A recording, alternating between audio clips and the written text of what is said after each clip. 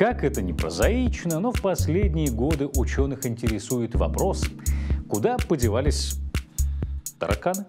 На первый взгляд, этому событию можно только порадоваться. Наконец-то отпала необходимость в разработке стратегических мер по их вытравливанию. Ведь бактерии, разносчиками которых они являются, вызывают очень опасные инфекционные заболевания. Однако на все должны быть свои причины. Следует напомнить, что прусаки относятся к одним из древнейших существ на Земле, ведь они являются современниками динозавров. Причем, в отличие от гигантских рептилий, этим перепончатокрылым удалось таки успешно пережить ледниковый период и падение Тунгусского метеорита. Значит, не все так просто, как кажется на первый взгляд. И по поводу исчезновения тараканов существует несколько версий. Есть, например, предположение, что эти насекомые ушли, поскольку им нечего стало есть. Нет, э, количество еды в наших домах вовсе не уменьшилось, но она стала менее доступна для тараканов. Ведь еще несколько десятков лет назад полиэтиленовые пакеты были редкостью, а сейчас даже самая незначительная мелочь герметично упаковывается, и добраться до пищи тараканам крайне затруднительно. Но если эта версия верна, то исчезнув в одном месте, насекомые должны были перекочевать в другое, а ни в одном из регионов страны увеличения их популяции зафиксировано не было. Их нет даже в мусорных контейнерах.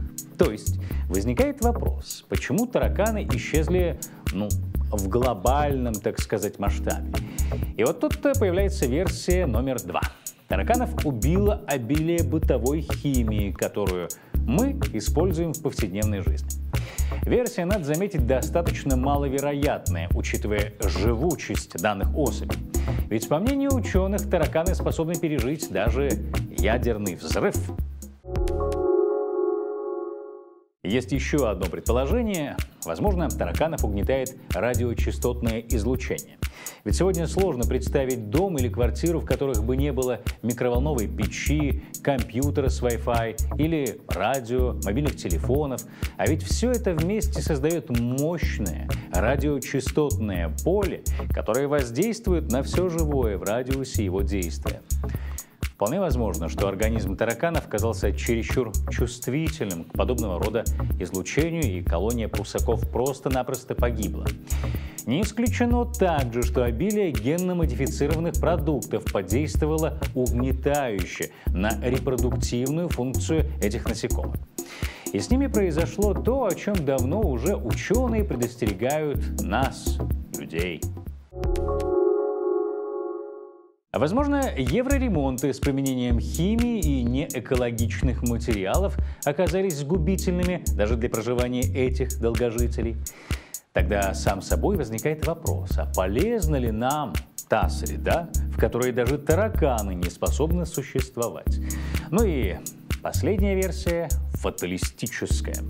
Я думаю, все помнят, почему с корабля бегут крысы. Так вот, некоторые исследователи утверждают, что в былые времена тараканы исчезали именно в преддверии каких-то катаклизмов. Так, например, упоминается, что они полностью пропали перед Второй мировой войной, а в Китае перед крупным землетрясением.